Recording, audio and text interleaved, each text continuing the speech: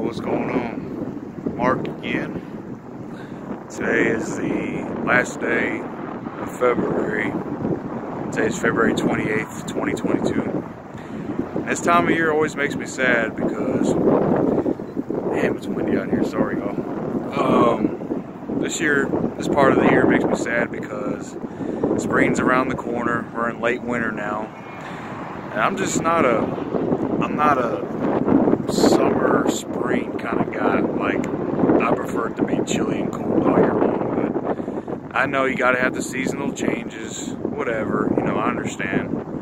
That's how Mother Nature works. You know. Uh, I just thought I'd do a little quick video since today's last day of February, and I hope y'all are all doing good, man. It's been a it's been it's been okay year so far. It's been a nice winter. Uh, if I had my way, I would love for it to be like nine months of fall and three months of winter. but wishful thinking, you know, can't really do nothing about that. Uh, I hope I don't know. Like I said, man, just this is gonna be a real quick video. I hope y'all are doing great.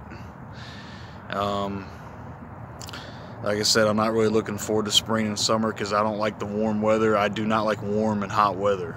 It's just not me. Like I prefer it to be fall and winter all year.